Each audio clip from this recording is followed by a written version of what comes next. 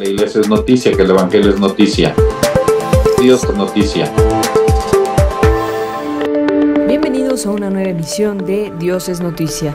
Agradecemos nos acompañen a conocer las noticias más relevantes de nuestra iglesia en Puebla. Les saluda Erika Rodríguez y Vicky Pérez. Estos son los titulares. El arzobispo de Puebla ofrece misa por los padres de familia. Ordenación episcopal de Monseñor Miguel Ángel Castro Muñoz. Bachillerato general para varones. Próximo Tapatón Puebla. La recepción de la comunión en la mano. Vamos con la información. Jesús pide a sus discípulos que hagan a un lado el miedo, que los hace vivir como si Él no estuviera presente en sus vidas, con un proyecto especial de salvación.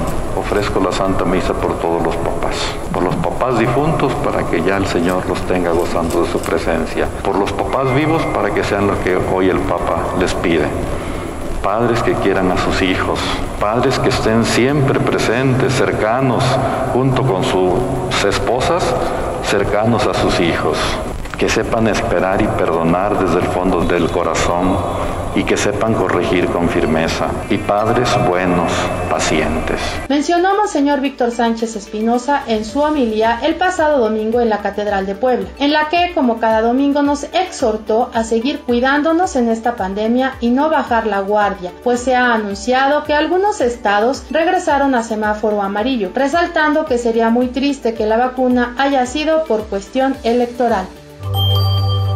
Ordenación episcopal de Monseñor Miguel Ángel Castro Muñoz. El pasado 17 de junio fue ordenado obispo Monseñor Miguel Ángel Castro Muñoz por manos del arzobispo de Puebla, Monseñor Víctor Sánchez Espinosa, en presencia de obispos de varias regiones del país, algunos sacerdotes de Puebla, religiosos y religiosas, seminaristas, laicos y autoridades del gobierno del estado de Oaxaca, el nuncio apostólico Monseñor Franco Coppola, el arzobispo de Antequera, Oaxaca, Monseñor Pedro Vázquez Villalobos y los sacerdotes que conforman el Colegio de Consultores de la Diócesis de Oaxaca de León. El nuevo pastor de la iglesia de Guajuapan hizo referencia del testimonio de personas de buena voluntad que han dado muestra de amor por sus hermanos durante la pandemia, que confirman que el actual de Dios es misterioso y eficaz y que nunca deja solo a su pueblo.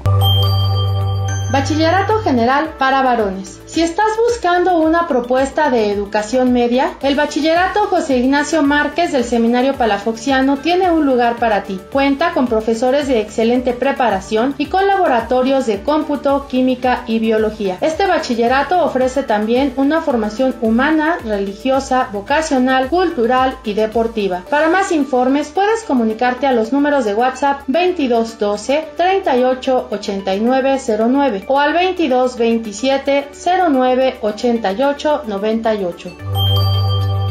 Próximo Tapatón Puebla. La parroquia de Cristo Rey Valle del Sol nos invita a unirnos a esta campaña de recolección de tapas de plástico en apoyo a la organización Banco de Tapitas AC, con el objetivo de ayudar a niños enfermos de cáncer. Dicha organización cuenta con diferentes programas de ayuda como albergue, creación de pelucas, etc. La parroquia de Cristo Rey ha colaborado de manera continua con esta organización. Por debido a la pandemia se tuvo que suspender temporalmente. En esta ocasión retoman las actividades y nos invitan al tapatón. Solo tienes que llevar tapas de plástico de PET a la parroquia y entregarlas en la calle Pitágoras número 62 Valle del Sol, que es a un costado de la parroquia. Estarán recibiendo tus tapitas de 9 a 2 de la tarde conferencia La recepción de la comunión en la mano. Desde el inicio de la pandemia, la Iglesia tomó como una de las medidas preventivas de contagio que se imparta la comunión en la mano. Por este motivo y para tener más conocimiento del tema, la Rectoría del Templo de Santa Catalina de Siena te invita a participar de la conferencia La recepción de la comunión en la mano. Aspectos históricos, canónicos y pastorales. Será impartida por el presbítero Ernesto Junior Martínez Avelino el próximo martes 29 de junio a las 3.30 de la tarde, ubicado en la 3 Norte, número 201, Colonia Centro.